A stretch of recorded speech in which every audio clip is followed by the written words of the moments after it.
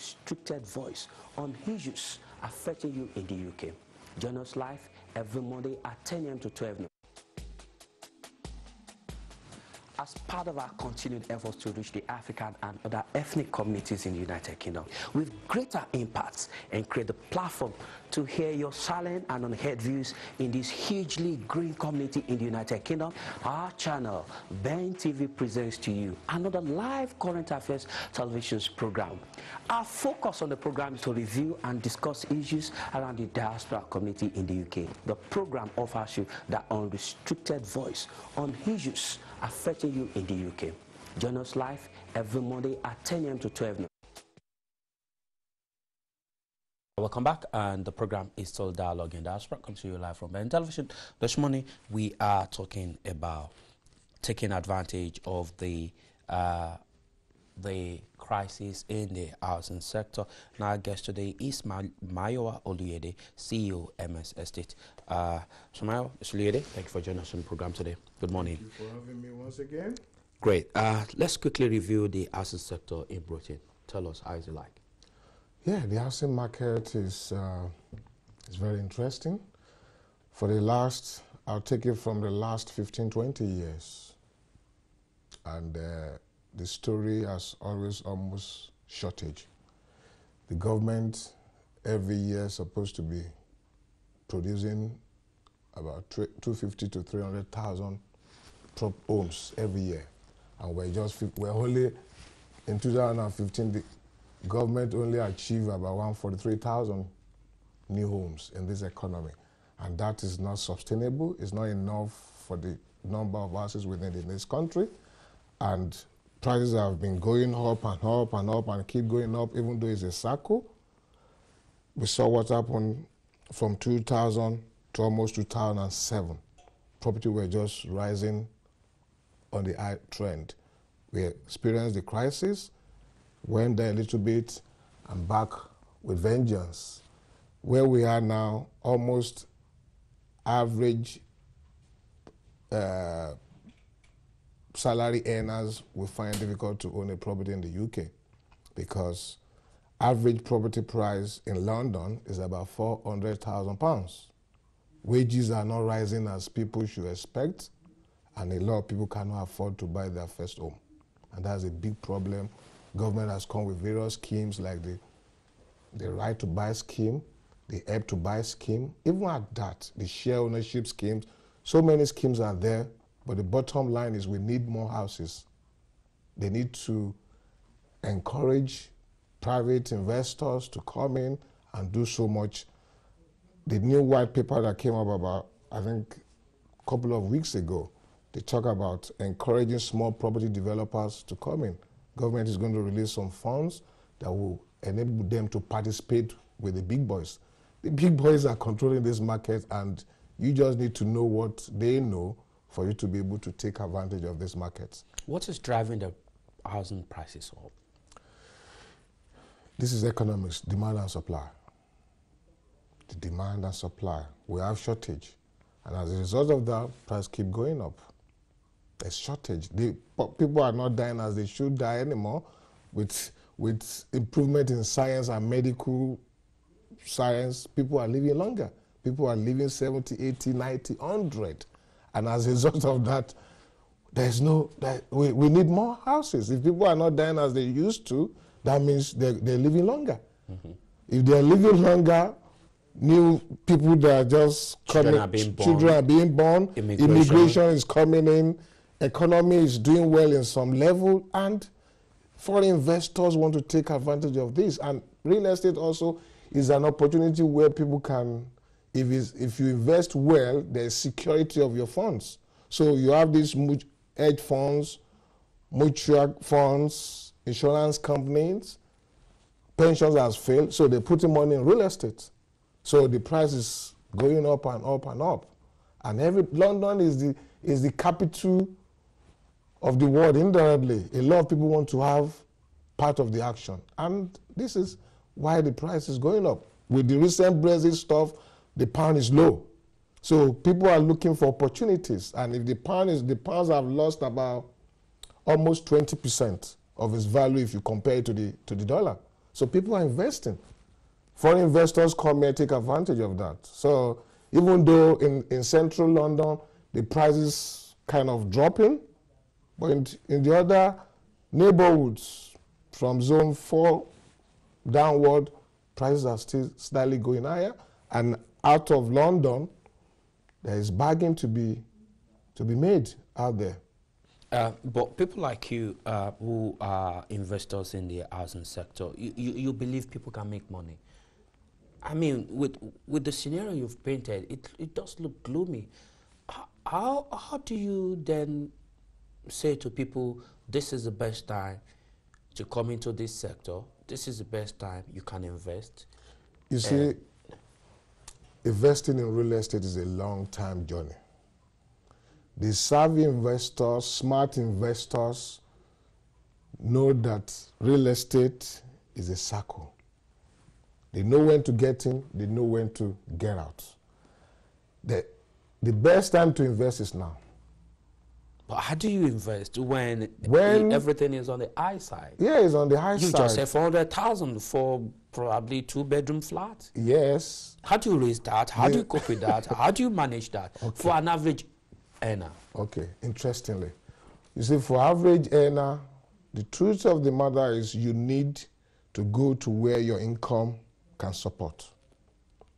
A lot of people don't face the reality People live in central London, they want to buy in central London. What stops them from going to Tilbury? What stops them from going to Kent, especially people of color? We want to hang on with the Joneses. You go to where your income can support and leave those neighborhoods that you cannot afford. People are buying outside.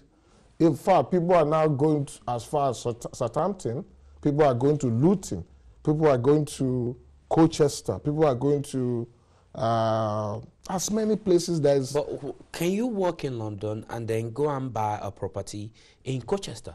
Why not? There's a fast train that, that will convey you from Colchester to central London. People even live in Milton Keynes. People live in uh, uh, so many areas that is serviced with good train system. We don't need we don't need to live in London. If you really want to own your own property because house ownership is aspiration. Because it's a matter of time. It doesn't matter where you live. I know people who live as far as uh, Southend-on-Sea and they work in central London. Even with the government plan, they're going to come get a train from Birmingham to London, fast train. It's a matter of time.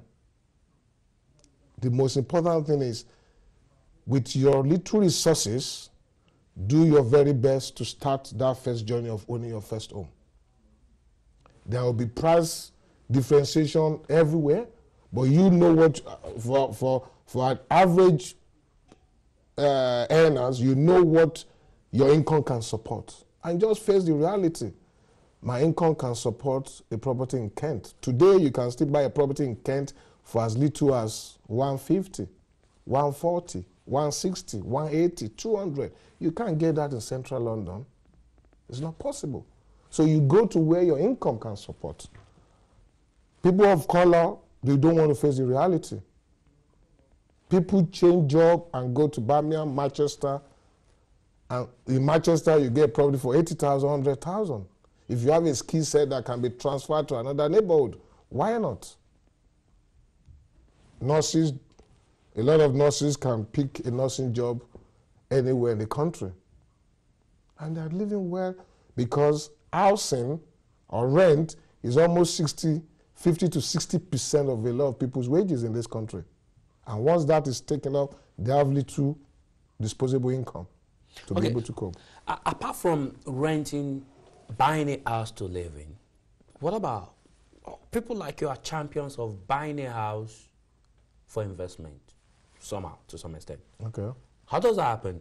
You, what kind of investment do you put on a house in Colchester or Manchester or in Birmingham or in Liverpool, even as a black man or whatever, as a minority, ethnic minority background? Okay, let me let me let me say this to you, uh, Tunde, even before I answer your question There's a government scheme going on presently that's called the right to buy. How does that work? Right to buy is when you, if you are a tenant in a council property and you've lived there for more than three years above, you can buy this property. And there's a discount. If it's in London, as of today, government is giving a discount of 103,900 pounds, I think, as a discount to enable people to be able to buy their first home. So government is doing their own little bit. We as individuals needs to do our own part. Yes, people might say, oh, I might not be able to afford that. But there is a lot of people that have not even tried that. A lot of people are out there, they've not tried that. And the scheme is there. It's been there for ages. They've just increased it about two, three, two years ago, increased the allowance. But getting the mortgage to support that is another issue. See, getting mortgage, the bank wants to lend. There's a lot of lenders out there. The truth of the matter is, if you want to lend money out, people must also qualify.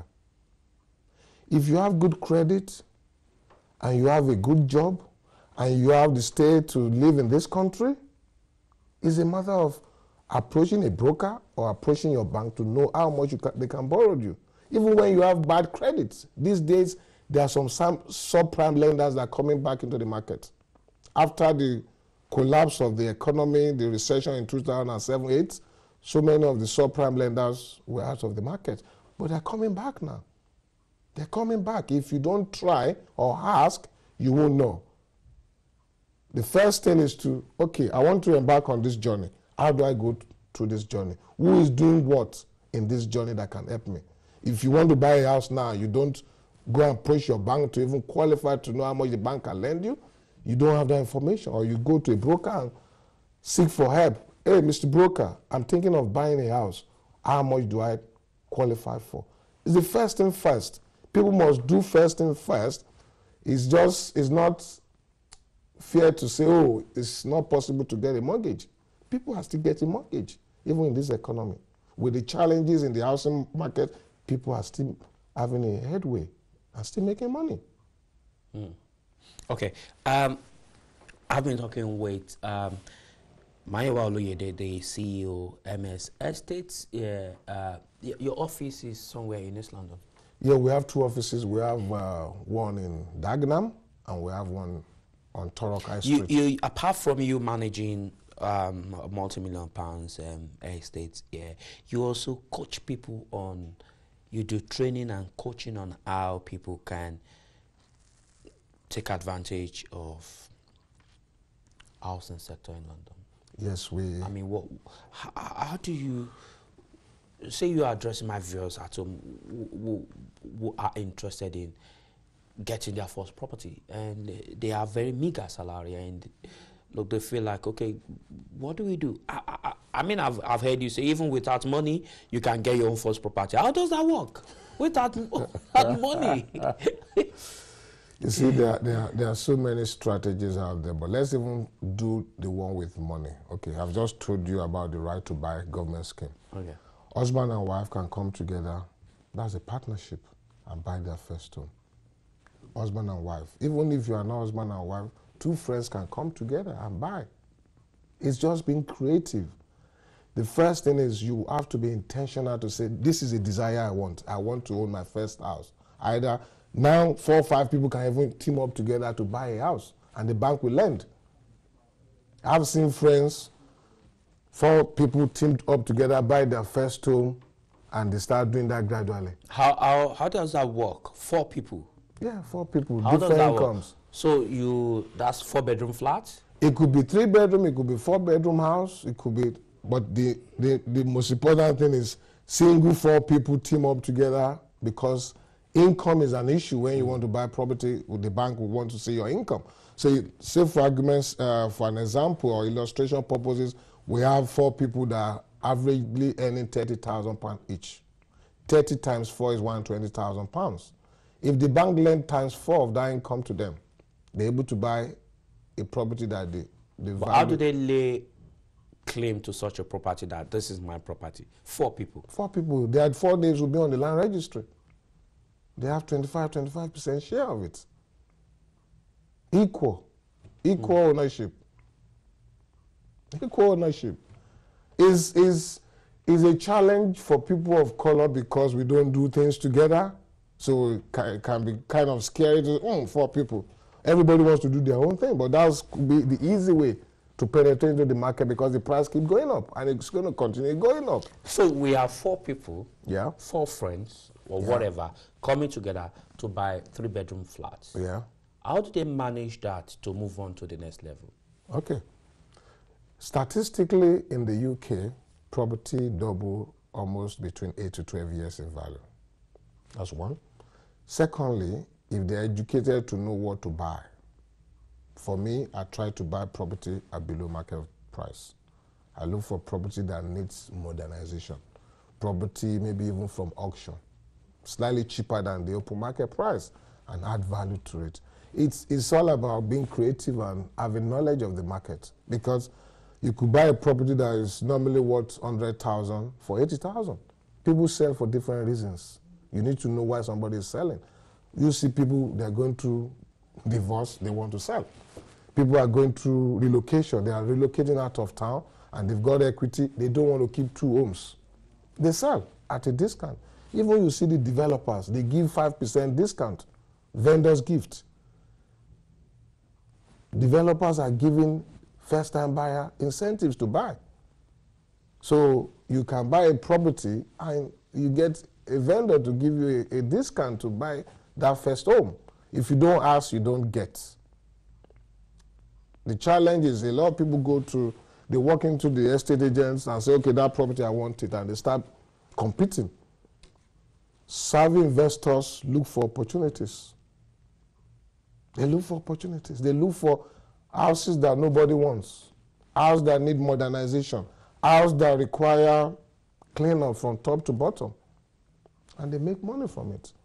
Because if you buy a property that, that require refurbishment, yes, you are going to spend money to refurbish, but you could also add value to that, which could be used for that next purchase. Because if a property that is worth 100,000, you bought it for 80,000, 75,000, spend 5 grand, 10 grand to fix it up, and in six months' time, its value is worth 125 or 130.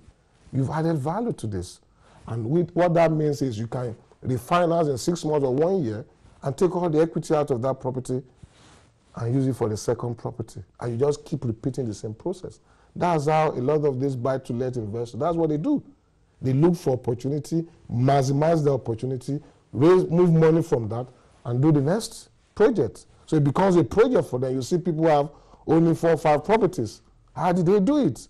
They keep recycling funds from one property to the other. If I've bought my first home maybe in 2003 and today is double, I take money from that property and produce more. It's like a farmer who has a seed in his hand.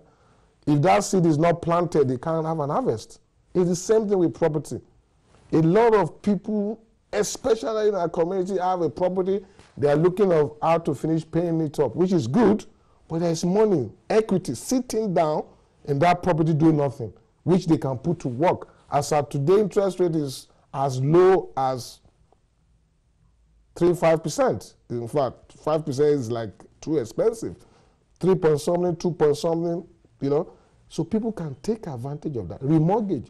You hear about parents now helping their children to own property. What are they doing? They are refinancing their own property, take money out, give it to their children to come on the property ladder. There are so many ways for people to start this journey. It's a journey. And so four people can get a fairly dilapidated property, mm-hmm. enhance it, yeah, occupy it, yeah, wait one more year or yeah. two years, yeah. it appreciates, take the equity out, buy another one. Another one. So that's two, that's two, two down and two, two to go. To go. So in about five, six years, they will have probably got four properties. Possibly, if they are creative. Or six properties. If they look for. Or six years. See, even, even in two years, if they focus on looking for property that needs modernization, property that require you know to add value to, they could achieve it in two years. Because every six months they can be buying another property.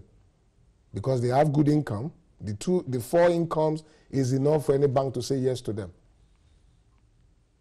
They do the first one as where to live, where probably they need only 90% mortgage, and they do subsequent one as buy to let. They can even the first one they can do what is called let to buy. Let that one to Can, go can you explain these technical terms? Let to buy, uh, shared home ownership.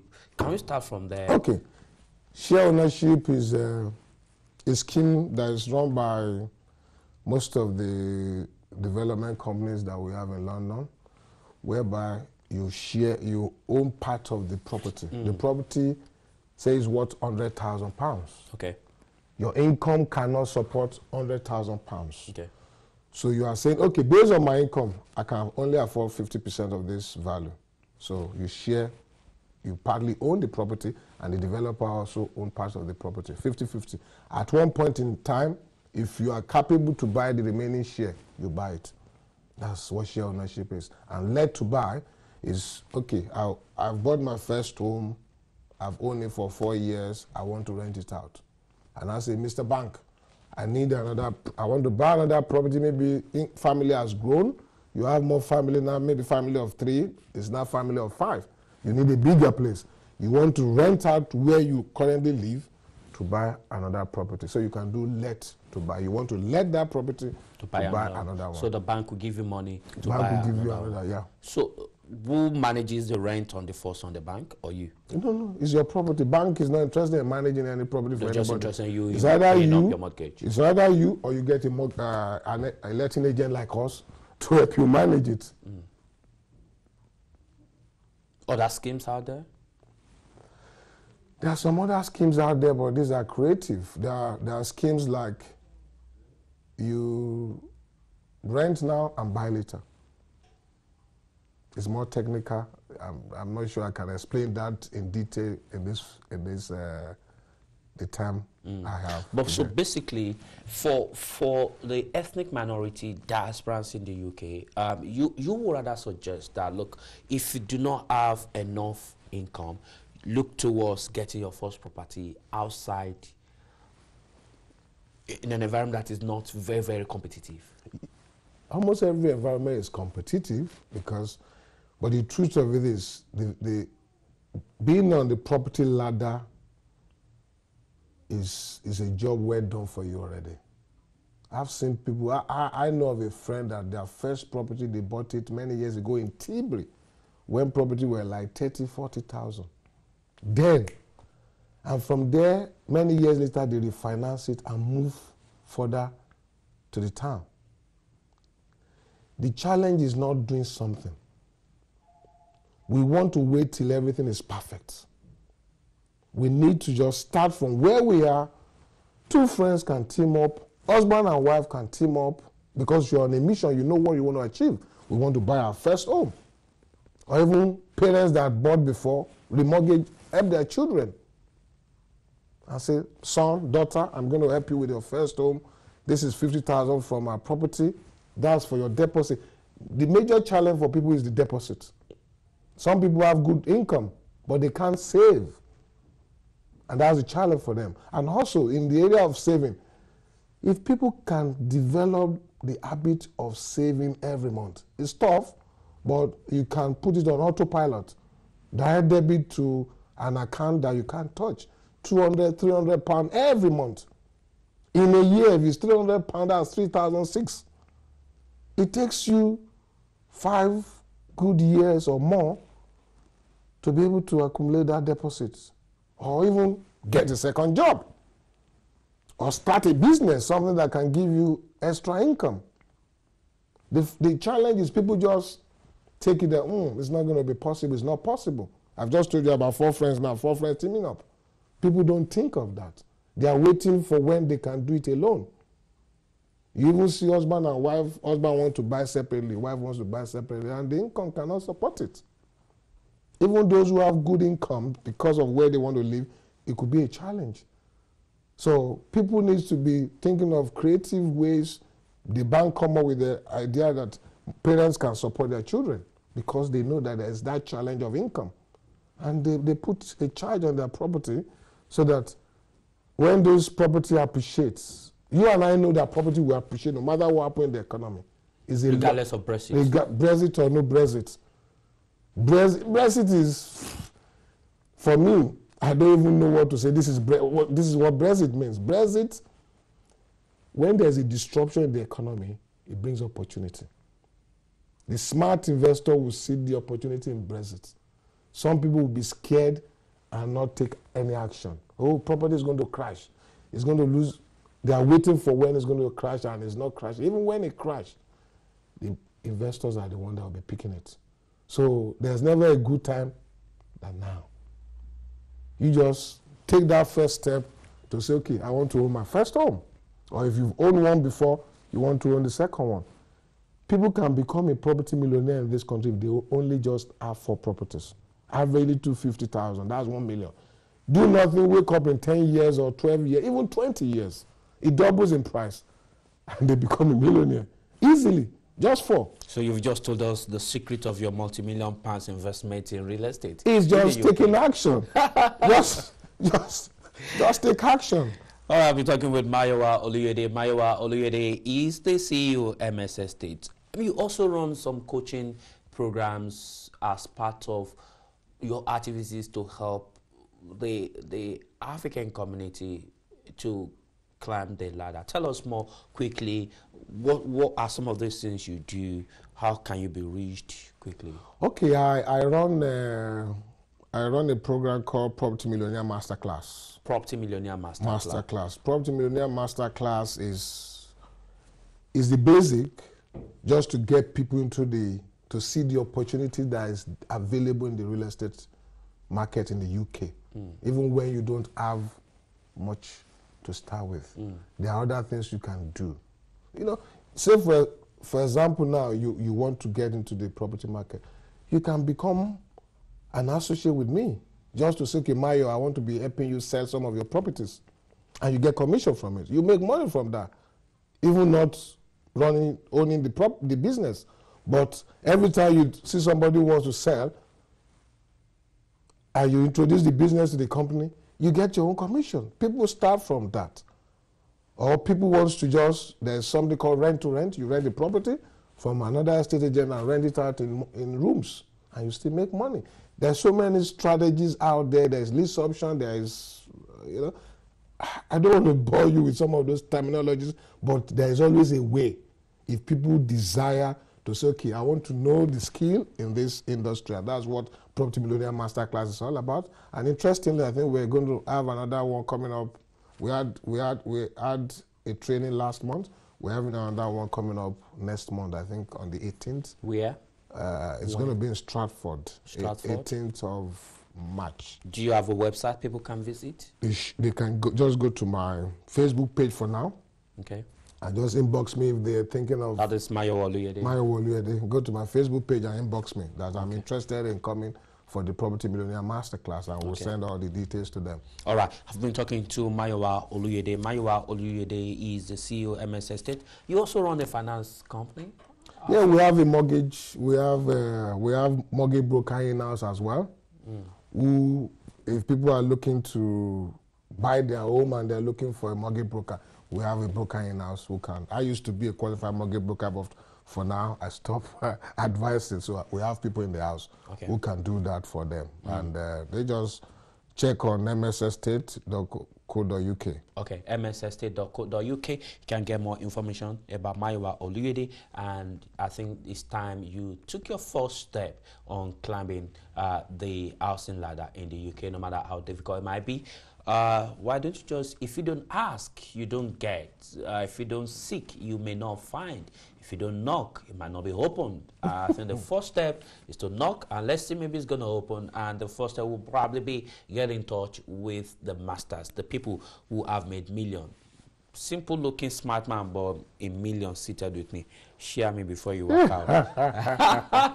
All right, thank you so much, uh, Maya. Uh, thank you for being part of the program today. We look forward to having you again. Thank of course, the next master class. Uh, Millionaire class The Property Millionaire Master class. coming up on the 18th of March. 18th of March. For more information, just check Mayowa Oluyede's Facebook, inbox him, and get more information. Or you go to msestate.co.uk and uh, give them a ring. Uh, we go on a very short break, and I bring in my next guest. Don't go away. Program continues.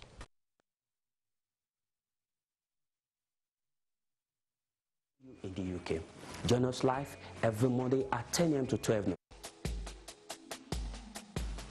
As part of our continued efforts to reach the African and other ethnic communities in the United Kingdom with greater impacts and create the platform